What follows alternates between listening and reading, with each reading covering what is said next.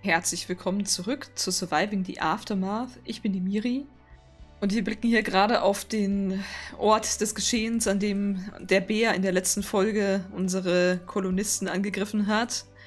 Unsere Spezialisten haben das geregelt. Die haben den Bär gejagt und auch die Wildschweine, die hier gleich mitgemacht haben bei diesem Kampf. Ja, dadurch haben wir eine ganze Menge erstklassiges Fleisch erhalten. Weshalb ich aber eigentlich gerade hier drauf gucke, ist, äh, mir ist gerade aufgefallen, hier arbeitet Antonio gerade an dieser, ja, an diesem Holzgebäude, baut hier offenbar Holz ab. Also das ist anscheinend auch was, was ich eigentlich ziemlich cool finde in dem Spiel, dass Arbeiter, wenn sie in ihrer eigentlichen Arbeitsstätte gerade nicht so viel zu tun haben, sich auch um andere Sachen kümmern.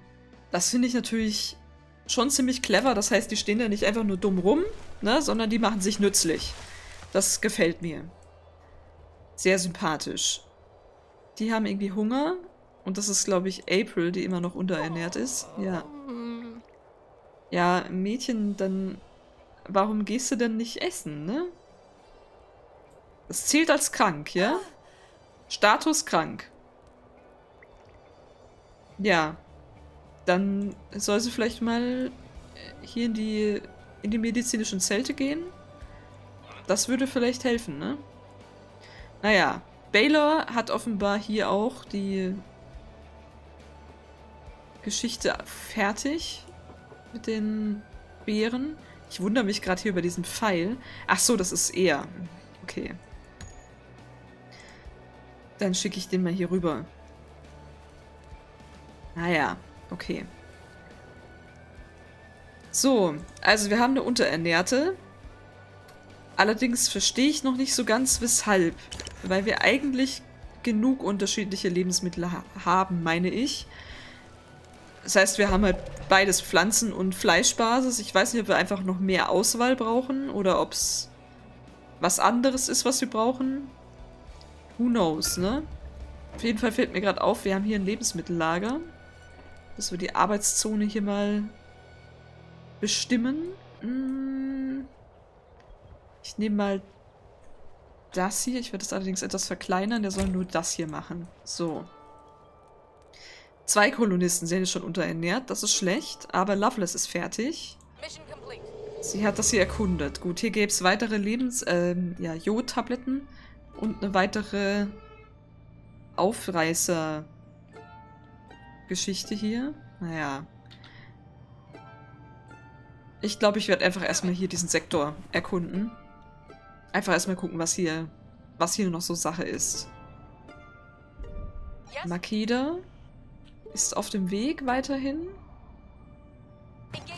Anscheinend hat sie jetzt einen schnelleren Weg gefunden, oder wie sehe ich das jetzt? Hm. Platy ist auch auf dem Weg. Sehr gut. Na gut. Wir brauchen echt dringend mal ein paar Forschungspunkte. Wir hätten jetzt auch 700 Silber. Stopp. Könnten also theoretisch tatsächlich uns um die um weitere Spezialisten bemühen, aber ich habe ja gesagt, ich möchte, möchte das lieber auf der hohen Kante haben für, für Notfälle. Was haben wir denn hier hinten? Oh, ein Sandwurm, riesiger mutierter Tausendfüßler, der seine Opfer aus dem Untergrund heraus angreift. Ich meine, Antonio ist ja wenigstens schon mal einer, der sich wehren kann, aber... Ah. Der ist jetzt hier wegen dieses Radius. Vielleicht sollte ich dem doch anderen was anderes zu tun geben. Da sollten wir die erstmal in diese Richtung noch nicht schicken. Und nehmen stattdessen lieber hier die Beeren. So. Wobei, vielleicht können wir den Radius ja so anpassen, dass die nicht durch diese Verstrahlung durchlaufen, wisst ihr? Oder nicht so sehr zumindest. Also ganz vermeiden lässt sich wahrscheinlich gar nicht. Es sei denn, ich mache es halt ganz klein. So. Ah, okay. Ähm, Baylor könnte ja mal mithelfen hier hinten. Bei dieser Geschichte. Ja, der ist jetzt verletzt. Oh, da ist der Sandwurm wieder verschwunden. Ach, hier ist er. Ah, der kommt dann immer nur hoch. Okay. Er sieht aber auch maximal gefährlich aus, ne? Eieieiei. Oh Gott. Ich meine, Baylor macht schon mal ganz gut Schaden, ne? Aber... Ob der das schafft? Der Berg hat da was aufgebraucht. Kümmern wir uns gleich drum.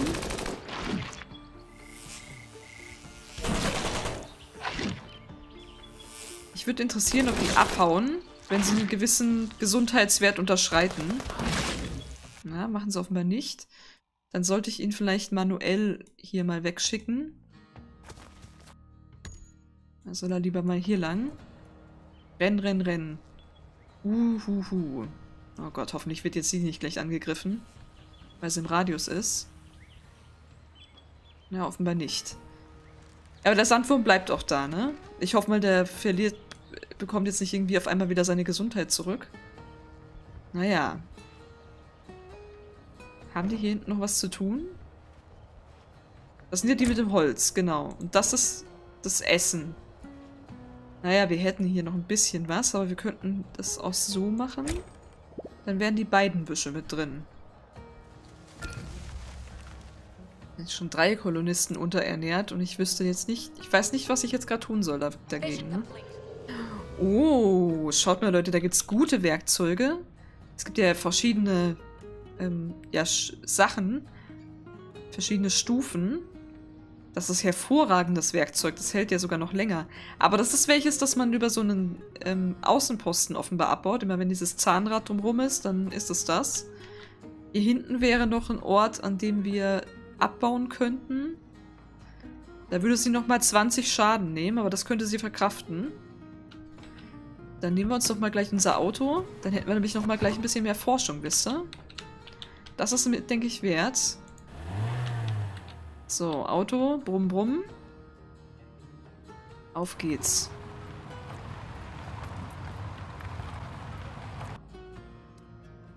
So, können wir uns jetzt hier schnappen? Ja, sie kann den Wagen verlassen. Aber sie schafft es noch nicht hier rein. Okay. Naja, nächste Runde dann, ne? Dann ist sie nur noch bei 20 Lebenspunkten. Dann muss ich sie auch langsam wirklich heimschicken. Das mit den Jodtabletten macht bei ihr relativ wenig Sinn, weil sie nicht so gut... Also sie hat zwar 100% Abbauquote, aber das geht halt auch besser, ne? Oh, ich sehe gerade... Ähm, eigentlich wollte ich gerade sagen, dass unser Holzlager kein Holz mehr im Umkreis hat, aber ja, danke auch, lieber Meteorit, dass du uns schon wieder unsere Kolonie zerstörst. Ich lasse ihn jetzt mal diesen Wald abholzen, denn meine Idee ist, dass ich hier Felder anlege, denn dort ist ja die Bodenfruchtbarkeit recht hoch. Ich denke, das wird sich dann am, am meisten lohnen. Zwei Kinder wurden geboren. Hui, gleich zwei auf einmal. Und das kurz nach dem Meteoritenabsturz hier. Mann, Mann. Ach so, da fällt mir gerade ein, wir können ja den Radius hier erhöhen. Vielleicht könnten wir hier diese Arbeitszone auch noch mal ein bisschen vergrößern. Oh, tatsächlich. Schaut mal. Dann könnte ich nämlich all diese Gebäude hier in der Siedlung mit einem Instandhaltungswerk versorgen. Vorrat an Kleidung geht zu Ende, sagt er uns. Ja, das ist ähm, traurig. Aber da können wir jetzt gerade nichts tun. Okay. 361 Forschung sind es immerhin, also das lohnt sich dann auch. Dafür lohnt es sich doch verstrahlt zu werden, oder? Ich glaube, der wird uns das jetzt jedes Mal sagen, wenn hier einer weniger wird bei der Kleidung. Aber zwei unserer Kolonisten sind wieder bereit. Also, Platy hat was erforscht. Hier gibt es Komponenten. Was auch immer das bedeutet. Jodtabletten jede Menge, Menge Medikamente. Also mit ihr, hier finden wir irgendwie immer nur Medikamente. Ich meine, ich habe nichts dagegen, ne, dass wir Medikamente finden. Nur suche ich halt eigentlich was anderes.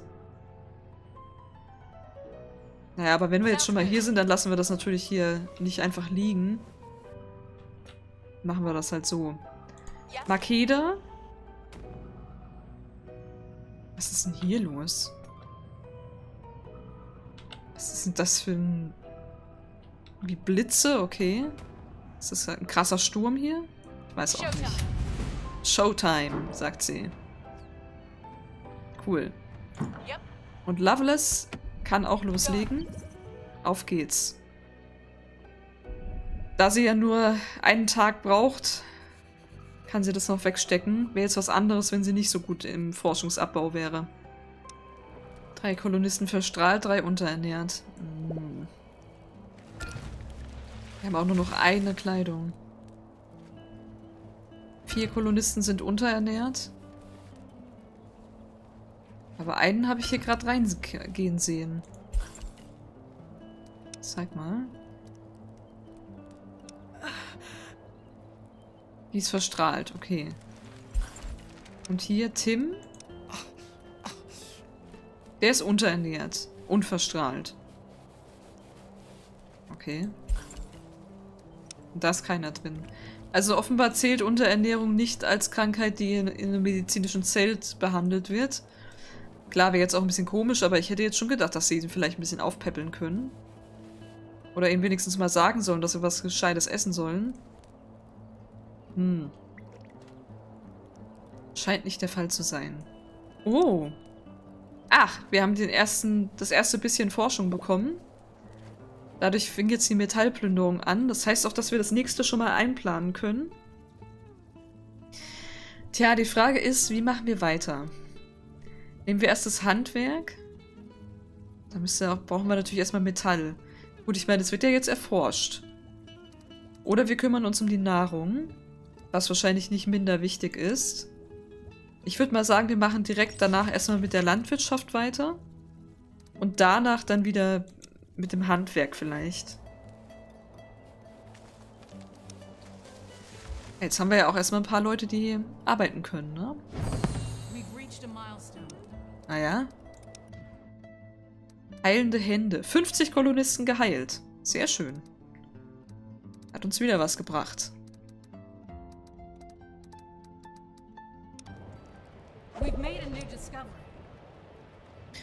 Ja, Metallplünderung ist abgeschossen. Unsere Spezialisten sind einsatzbereit. Ja, ein Spezialist in Gefahr, das ist Loveless, die hier ziemlich ziemlich in Mitleidenschaft ge ge gebracht ist. Gut. Aber wir können jetzt Metall abbauen. Ein Schürfzug hier. Der produziert Metall und... Ist es Abfall? Kann ich nicht erkennen. Schwer zu sagen. Ähm, die Frage ist, wo bauen wir ihn hin? Weil, ich meine, das ist hier weit hin, weit weg natürlich. Aber auf der anderen Seite bin ich mir jetzt nicht sicher, ob wir hier rundherum noch viel Metall finden werden. Also es macht wahrscheinlich relativ wenig Sinn, sich da komplett drauf zu verlassen. Lass uns mal nochmal auf die Bodenfruchtbarkeit gucken. Man könnte es halt zum Beispiel auch hier oben hinstellen. Na? Ich weiß nicht, ob das irgendeinen Unterschied macht. Die haben halt einen relativ weiten Weg dann dahin, aber den haben sie wahrscheinlich so oder so. Weil sie müssen ja auch dahin kommen. Hm. Sehr unschlüssig. Also ich bin echt immer ein bisschen überlegen, ist es besser, dieses Ding hier... Oh, da sieht man schon überall die Bodenfruchtbarkeiten. Das ist ja krass. Selbst da, wo ich es noch nicht erkundet habe. Ah ja. Macht es, bringt es mehr, mir jetzt zum Beispiel das hier hinzustellen? Beziehungsweise hierhin, weil ja hier dieses, oder naja, gut, in die Nähe zumindest. Weil dann der Weg zwischen dem Metall und diesem Arbeitsort nicht so weit ist. Oder mache ich es hier hin, dann ist natürlich der Arbeitsweg zum Metall recht hoch. Hm. Aber ich meine, wir wissen halt wirklich nicht, was danach kommt. Ne? Vielleicht ist hier noch ein Haufen Metall. Vielleicht ist es aber auch das Einzige und für den Rest müssen sie dann hier oben hinbauen, hingehen. Das ist halt die Frage, ne? Hm. Hier ist halt auch ein Haufen Verschmutzung drumrum. Ich baue es jetzt mal hier hin. Ich, ich weiß es einfach nicht besser, Leute.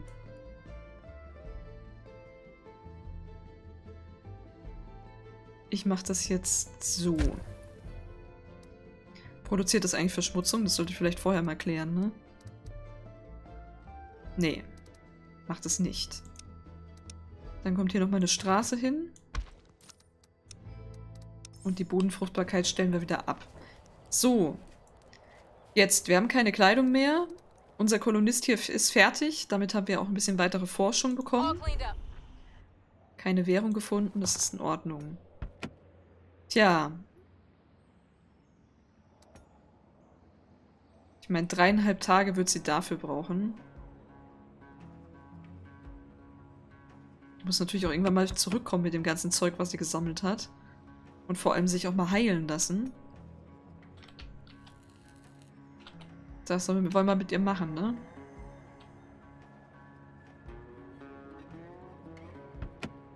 Also ich glaube, ich würde eher dazu tendieren, sie jetzt mal nach Hause zu bringen. So. Wird natürlich auch mit dem Auto noch eine ganze Weile dauern. Das Auto ist noch bei halber Gesundheit. Also ein bisschen könnte es noch. Wir haben halt, glaube ich, in der Kolonie noch keine Möglichkeit, das Auto zu reparieren, denn ich habe festgestellt, Moment, hier bei der Forschung habe ich das entdeckt. Oh, wo war denn das jetzt nochmal genau? Dass man... Hier das Motorisierung, genau. Dass man hier jetzt diese Motorisierungserforschung. Damit kann man eine Garage bauen und dann auch ähm, Fahrzeuge reparieren. Aber das ist halt hier hinten. Ne? Also ihr seht ja, wie weit der Weg dahin ist und wir sind jetzt halt gerade mal hier vorne angekommen.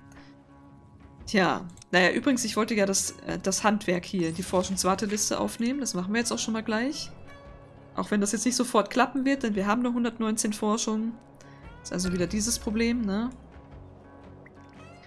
Aber immerhin sind wir bald dazu in der Lage, Landwirtschaft zu betreiben. Und vor allem das Metall hier abzubauen. Plündert Metall und Abfallstoffe aus Metalllagern. Die Frage ist nur, was macht man mit den Abfallstoffen? Werden wir da vielleicht aus der Forschung schlau?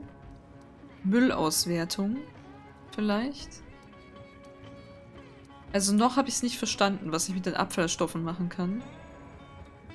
Ah! Hier, Produktion von Teilen.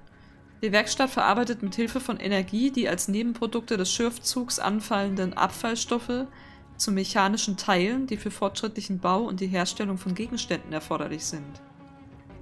Aha. Energie braucht man dazu allerdings. Und Betonplünderung ist natürlich auch nett. Tauschhandel. Ah. Ja, Mensch. Also es gibt auf jeden Fall viele Möglichkeiten noch, die wir da haben. ne? Oh, mittlerweile fünf Kolonisten unterernährt. Aber was ich dagegen tun soll, ist mir jetzt nicht so ganz klar. Der Schiffzug ist fast fertig. Anscheinend machen sie gerade Pause. Jetzt. Braucht natürlich erstmal eine Arbeitszone. Hier hinten. Darf er hin. Viel Spaß. Werden doch gleich noch eine zweite Person einstellen. Dann wird das Ganze auch etwas schneller gehen. Baylor ist immer noch am Plündern, das ist gut. Aber er ist jetzt auch wieder gesund. Wir könnten ihn ja wieder auf den Sandwurm loshetzen. Wo ist denn der? Der war doch hier, genau. Sandwurm. Hoffentlich hat der sich jetzt nicht, mittlerweile nicht regeneriert. Das wäre sonst irgendwie ein bisschen doof, ne? Was ist denn jetzt wieder los? Da ist auch ein Sandwurm. Ach du Scheiße. Na, das ist ja der ultimative Fail. Jetzt habe ich mich so gefreut über mein Metall. dann habe ich hier noch einen Sandwurm, den ich bekämpfen muss. Okay, Leute, dann muss ich euch leider kurz mal zurückhalten. Aha. Oh, hoffentlich killt das Ding jetzt nicht gleich. Der ist weg. Und jetzt wird sie natürlich hier auch noch einmal angegriffen. Oh mein Gott. Gut, aber wenigstens der ist ja so gut wie tot. Also er hat sich offenbar nicht regeneriert. Puh. Gut, den sind wir los. 104 Mehlwürmer. Boah, das, sieht, das hört sich echt gar nicht so lecker an, ne? Okay, wir haben hier ein Lebensmittellager, die, die Abbauzone. Dann sage ich ihm mal, dass er das hier abbauen soll. Ja. Oh Gott. Hier ist er. Er läuft jetzt hier schon wieder lang. Oh Mann, ey. Gut, also sobald Baylor wieder gesund ist, schicke ich ihn dann hier hin zum nächsten Sandwurm. Vielleicht schicken wir ihm zur Verstärkung einfach auch noch die anderen mit. Das wäre ja auch noch eine Möglichkeit. Na, da muss man echt ein bisschen aufpassen. Kann man das irgendwie vorher sehen? Das, wo, wo, hier, wo hier Gefahren lauern. Ist vielleicht eine Karte? Nee, ne? Lebewesen. Oh, Leute, schaut mal. Hier gibt es eine Lebewesenkarte. Da sieht man zum Beispiel hier diese Hirsche, die sind ja recht ungefährlich. Ich glaube, die greifen nur an, wenn sie angegriffen werden. Und dann sieht man hier zum Beispiel ist ein Sandwurm. Was ist hier? Da ist auch ein Sandwurm. Das heißt, bis wir zu diesem Metall kommen, wird noch ein bisschen Zeit vergehen. Das heißt aber auch, ich kann jetzt mal gucken, wo hier noch Gefahren lauern. Hier ist noch ein Wildschwein. Das ist aber nicht weiter gefährlich. Ja gut, wenigstens können wir uns darüber informieren, wo hier was ist, ne? Ja. Es sind wieder ein paar Sachen passiert. Die Grundlagen der Landwirtschaft wurden erforscht. Hm. Ich würde gerne hier auf der Karte... Machen wir das den Moment mal. Ich brauche mal kurz meine Bodenfruchtbarkeit. Hier. Hier würde ich ja gerne meine Felder aufbauen. Wenigstens mal eins fürs Erste. Kann das auch hier drunter machen? Ja. Ich möchte es natürlich möglichst platzsparend machen. Das geht auch noch. Das hier würde ich sagen.